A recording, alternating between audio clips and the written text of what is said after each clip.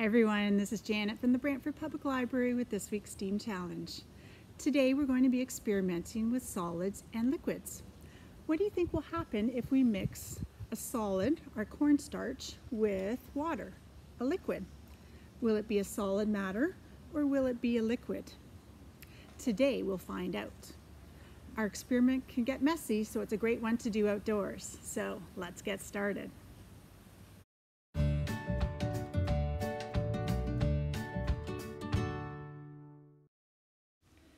Start by putting a quarter cup of cornstarch in your container.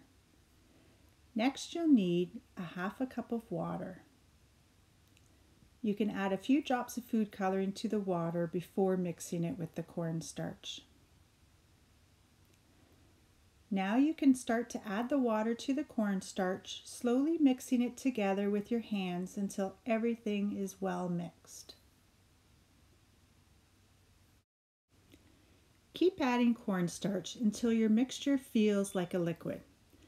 If your substance is too powdery, you can add more water. Or if it's too wet, keep adding cornstarch. Now you can play with your cornstarch substance. Pick up a handful of it and squeeze it. What happens when you stop squeezing it?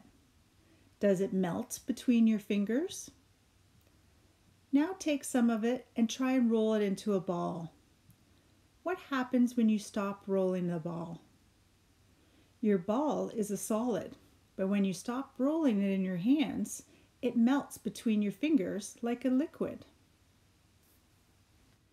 Try using a spoon to stir it. Try stirring quickly and then slowly.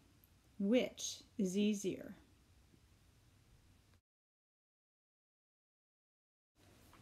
So why does our cornstarch and water substance act like a solid sometimes, and other times it acts like a liquid? Our cornstarch does not dissolve in water and is just suspended. When you squeeze the substance, it really feels like a solid because the molecules line up.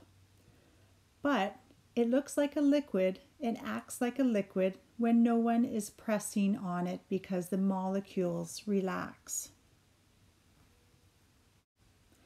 When this pressure is taken away, it then becomes more of a liquid.